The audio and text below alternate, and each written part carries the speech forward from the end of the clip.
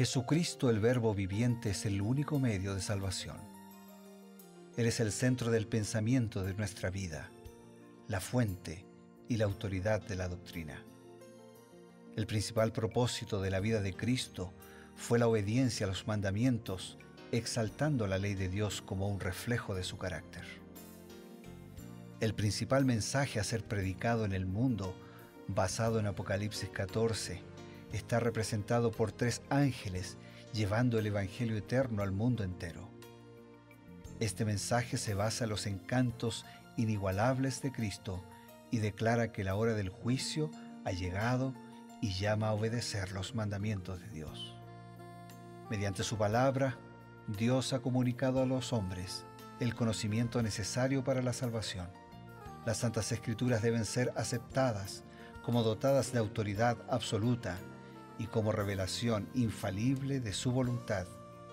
Y aunque el canon de las escrituras inspiradas está cerrado, el Espíritu Santo continúa iluminando, amonestando y confortando al pueblo de Dios a través del testimonio de Jesús, el Espíritu de profecía.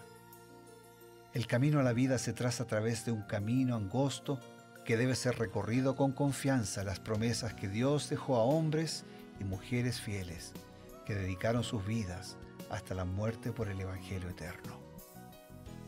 Los fundadores de la iglesia soñaron con el día en que la revelación sería una realidad en sus vidas. Miraron con los ojos de la fe aquel día glorioso cuando finalmente la promesa sería cumplida en la venida magistral de Jesucristo a esta tierra para recompensar a cada uno según sea su obra.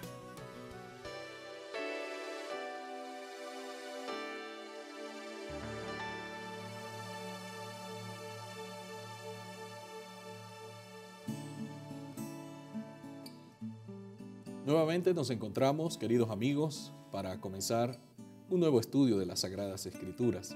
Cada día tenemos el grato privilegio y el placer de estudiar la palabra de Dios un capítulo por día, pero no solo, sino asistidos por el consejo oportuno del Espíritu de Profecía.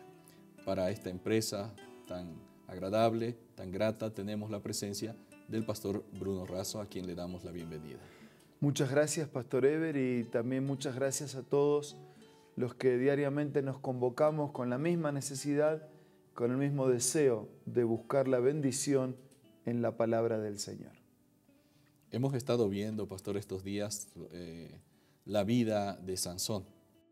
Estos últimos días estamos viendo desde el momento cuando Sansón nace, los propósitos de Dios para él, eh, su desarrollo, su crecimiento y cuando ya en su vida adulta, sus decisiones, que no siempre fueron buenas, él tuvo como una especie de altibajos durante toda su vida. Y al llegar ya a la parte final de, la narración sobre la vida de, Sansón, encontramos que él estaba con un comportamiento muy, muy errático.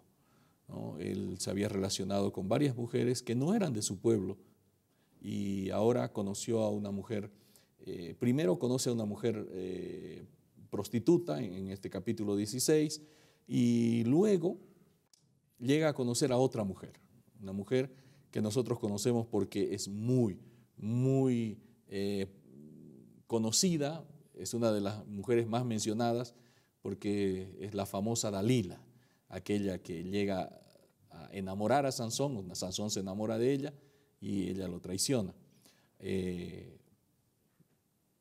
Sansón se relaciona con sus propios enemigos durante toda su vida y fue cada vez más en decadencia.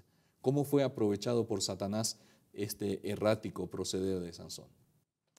Voy a responder con una declaración de Elena de Huay del libro Patriarcas y Profetas y ella dice así, pero ni aún esta arriesgada escapada refrenó su mal proceder no volvió a aventurarse entre los filisteos, pero continuó buscando los placeres sensuales que le atraían hacia la ruina. Después de esto aconteció que se enamoró de una mujer en el valle de Sorek, a poca distancia de donde había nacido él. Ella se llamaba Dalila, la consumidora. Hmm. El valle de Sorek era famoso por sus viñedos, y estos también tentaban al vacilante Nazareo quien había hecho ya consumo de vino, quebrantando así otro vínculo que lo ataba a la pureza y a Dios. Los filisteos observaban cuidadosamente los movimientos de su enemigo y cuando él se envileció por esta nueva unión decidieron obtener su ruina por medio de Dalila. O sea, eh, cuando uno se va, va corriendo a los límites y se va alejando del plan y del proyecto de Dios, cada vez se va distanciando más. Eh, él ya había quebrado el voto que le hablaba, que, le, que se había comprometido a tener una vida sin alcohol. Pero él ya ahora había quebrantado más, estaba en esa zona de viñedos especiales y de, de vino especial. Entonces también fue seducido y atraído y otra vez quebrantó aquel voto. Y ahora iba a quebrantar el otro voto de acercarse a una mujer que no tenía la misma fe. Porque el consejo de Dios era que se casaran este, guardando relación entre lo que creían. Porque ¿qué, qué, relación puede haber cuando uno practica una religión y el otro practica otra religión? Bueno, uno dice, no, bueno, yo la respeto, que ella haga lo que quiera, yo hago lo... Está, bien, puede haber respeto y no hay problema en eso. Este, puede que ni uno le imponga al otro, pero, pero uno disfruta de, una religión que el otro, para el otro no es nada. Entonces, ¿cómo, ese vínculo se fortalece? ¿Cómo se educan a los hijos? De una manera en la que uno cree, el otro no cree. Uno enseña una cosa que cree, el otro enseña lo que distinto, diferente, contrario. Entonces el consejo de Dios era que no se unieran en yugo desigual con incrédulos. Claro. Pero Él también iba a quebrantar eso. Y bueno, cuando nosotros sembramos y sembramos este, de espaldas a Dios, cosechamos los resultados. Y eso le pasó a Sansón. Interesante que la cita eh, que nos mencionó dice que los filisteos observaban cuidadosamente los movimientos de su enemigo y ellos estaban eh, miraron el tipo de persona con el que se había unido y dijeron, parece que vamos a obtener ventaja, una ventaja muy buena por intermedio de, esta mujer. Claro, porque ellos sabían que ellos con Dios no iban a poder. Pero si lograban debilitar al que dependía y confiaba de Dios, iban a alcanzar su propósito. Y cuando percibieron que él corría los límites en esa conducta, dijeron, es por acá que vamos a entrarle. Sí, es verdad. Y lastimosamente, bueno, el capítulo, eh, debido a la concisión de las Sagradas Escrituras, nos va resumiendo qué fue lo, que aconteció. Finalmente, Dalila logra engañar, le saca el secreto de su fuerza, eh, que en realidad era un símbolo, no es que la fuerza radicaba en su cabello, pero era un símbolo de su, de su fidelidad, de su voto a Dios. Eh, le corta el pelo, lo toman preso y todavía Dios le concede un último pedido. Después de esa trágica eh, forma de terminar, Él dice, por favor, concédeme un pedido más. Y cuando estaba ahí en pleno templo de Dagón, ese templo gigantesco donde había, me imagino, varios pisos, tres mil personas allí, atado en las cadenas, ciego, una vida triste, el Señor le concede una petición, véngame de mis enemigos y consigue, eh, eh, digamos, eh, matar a sus enemigos mucho más que lo que había hecho en, su vida. Bueno, yo, yo pienso que esta historia fue dada para beneficio de todos los cristianos. Sin embargo, me gustaría que Pastor nos presentara la evaluación que la inspiración hace de la vida de Sansón. Voy a leer cómo lo cuenta Elena de White. La promesa de Dios de que por medio de Sansón comenzaría a salvar a Israel de manos de los filisteos se cumplió. Pero cuán sombría y terrible es la historia de esta vida que habría podido alabar a Dios y dar gloria a la nación.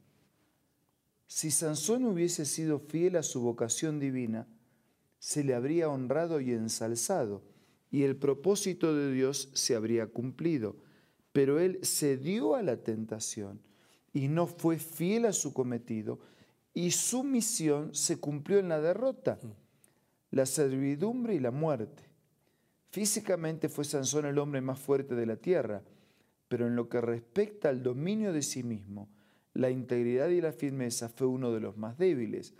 Muchos consideran erróneamente las pasiones fuertes como equivalente de un carácter fuerte Pero lo cierto es que el que se deja dominar por sus pasiones es un hombre débil. La verdadera grandeza de un hombre se mide por el poder de las emociones que él domina y no por las que lo dominan a él. Fíjate qué, declaración, ¿no? Cuánta, cuánto contenido hay aquí. En primer lugar, Dios le había dado dones especiales.